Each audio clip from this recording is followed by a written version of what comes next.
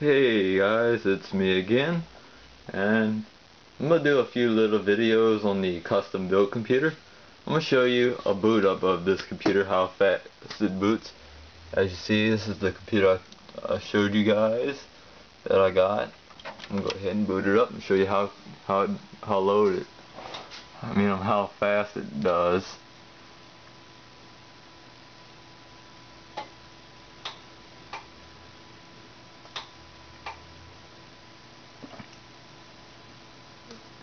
As you see it goes through the BIOS for like about a second.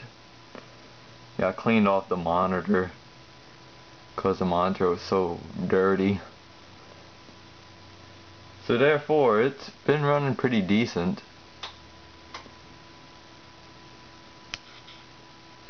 Tried to fix the refresh rate on this monitor. I do have sound enabled.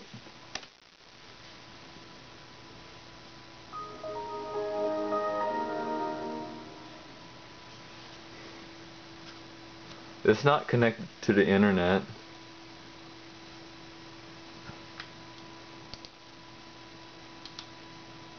To show you how it run, how long the processor and how much RAM it has. Show you proof of what this computer got.